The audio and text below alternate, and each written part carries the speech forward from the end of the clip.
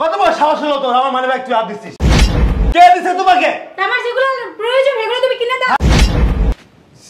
বাইরে কি গরম বাবা।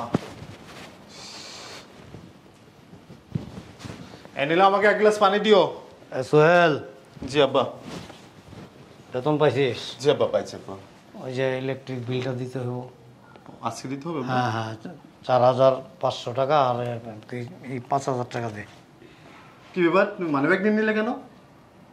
ও, তোমাকে তো যেটা বলছিলাম না, ওই ড্রেসটা যে পাশের বাসার আপার যে ড্রেসটা কিনছে নয় হাজার টাকা, তো ওইটা আমি নিব। এক মাস ওয়েট করছি, আর আমার কসমেটিক তো কিছুই নেই। তো তুমি তুমি, তোমার তো আমি সবই বলছি, তুমি তো জানো। আর আপু, আপনি ওই ইয়া করেন, কারেন্টের, কারেন্ট বিল যে টাকাটা আসছে, ওইটা আপনার জমানো টাকা থেকে দিয়ে দেন। আমার কিছুই নেই, আমার অনেক কিছু কিনতে হবে। কসমেটিক ফেসিয়াল শ্যাম্পু কিছু নেই আমার। পার্লারে আমি যেতে পারতেছি না।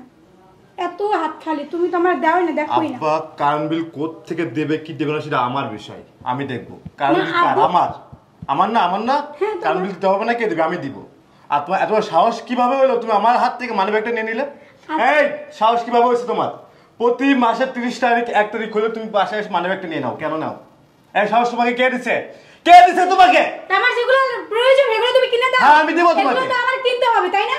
আমি দিব তোমাকে। তোমার যেটা দরকার আছে সেটা আমি দিব তোমাকে। তোমাকে আমি দিই নি কাপড় দিই নি কিছু দিই নি তোমাকে হ্যাঁ এই ন- এই নর্মাল কাপড় আমি দিই আমি তোমাকে? এই নর্মাল কাপড় আমি পরবো। আমার সামর্থ্য অনুযায়ী আমি তোমাকে দেবো। তার বেশি এক টাকা বা কোনো কিছু দিব না তোমাকে আমি। বোঝো তুমি আমার কথা? সব টাকা লাগবে আমার মার্কেটিং করতে সব টাকা লাগবে। তোমার এত বড় সাহস হলে কীভাবে তোমার? Marketing করব, আমার সব পার্লারে যেতে হবে আমার সব টাকা লাগবে শেষ। সব টাকা লাগবে মানে? তুমি কি তুমি কি প্রতি মাসে কি কি খায় থাকবা? কিছু লাগবে না বাসার জন্য? নাকি সব তোমাকে দিতে হবে সব তোমাকে দিতে হবে। কেন দিতে হবে তোমাকে সব? কত বড় সাহস হলো তোর? আমার মানে ব্যাগ তুই হাত দিচ্ছিস। একটু চিলাচিলি করবে না একটু চাপবে না। আমার ওই ড্রেসটা লাগবো মানে লাগবো ওটা আমার চয়েস হয়েছে আর ওটার দাম নয় হাজার টাকা। তো এই ড্রেসটা কিনে বাকি টাকা দিয়ে আমি কসমেটিক কিনবো ঠিক আছে? কোনো চিল্লা চিল্লি আমার আমার কাছে আর ও আমি সব বেতন পাই। বা দেখেন আপনার মেয়ে কি বলে দেখেন। আপনার মেয়ে কি বলতেছে একটু শুন- দেখেন। মানে আমি তো সবই শুনলাম। কি শুনছো বাবা? কোন জায়গায় বিয়ে দিছো আমারে? একটা আমার কসমেটিক দিতে পারে না। আমি কি নর্মাল ড্রেস পরে থাকি? আমি ছোট থেকে এই এই- এইগুলো পরে আমি বড় হয়েছি বলো। আমার ফ্যামিলি দিকে তোর আমি এই শিক্ষা দিছি ছোটবেলার থেকে বড় হয়েছিস এই শিক্ষা দিছি। শিক্ষা দাও না কিন্তু তোরে আমি কি। পড়াইছি না পড়াইছি কি খাওয়াইছি না খাওয়াইছি এটা হচ্ছে পরের কথা। তোর আমি বিয়ে দিছি।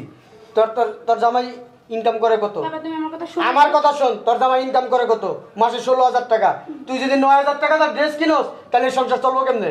হ্যাঁ? আর তোর বাড়ির বিল দিব কেটা তোর শ্বশুর কি ইনকাম করে? আমার শ্বশুরের জমানো টাকা আছে। তোর শ্বশুরের জমানো টাকা না থাক মনে কর বিল্ডিং করা আছে।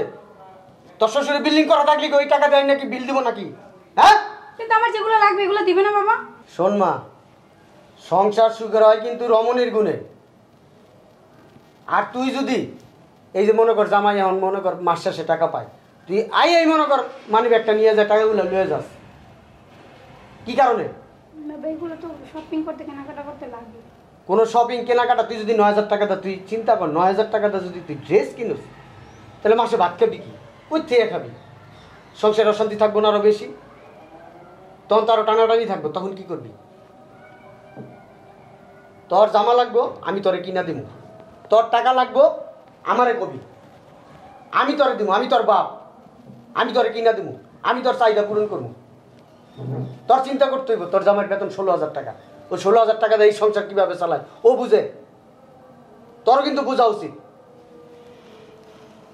আমি জানি এই নিয়ে ফারদার আমি জানি এই নিয়ে কোনো চিল্লা চিল্লার না শুনি। সরি বাবা আচ্ছা। তুই সকালবেলা বাসায় যাবি আমার এনে আমি তোর জামা কিনা দেবো তোর যা লাগে টুকটাক টাকা পয়সা যা লাগে আমার হাত খরচ আমার বলবি আমি তোরে দিব আর ওর মানি ব্যাগ কিনিস স্কিল থেকে? হাতের থেকে টান্দা মানি ব্যাগ নিস স্কিল থেকে। মানি ব্যাগ ধরে মানি ব্যাগ দে। সরি বল রে। সরি ওকে আমি জানি আর শোন আমি জানি আর কোনদিন না শুনি এগুলা। আর কখন ওর মানি ব্যাগ টানবি না। মাস শেষ হলে গাড়ির উপরে দাঁড়ায় থাকবি না। আচ্ছা তোর যা দরকার আমার বলবি। ও না পারলে আমি দিব। চলেন বিয়ে আজান হইতেছে। চলেন নামাজ। পড়া। সোহেল সুন্দর করে থাকবি কোনো কথা জানি আমি না শুনি আইসা